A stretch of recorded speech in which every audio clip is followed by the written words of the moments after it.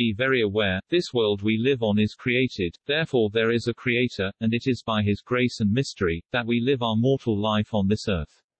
No man or woman will escape the inevitability of death in the flesh. But do not fear death itself, fear only he, who we will all bow down to, whether we will or no. Let's not be afraid of making mistakes, or being less than we may believe ourselves to be.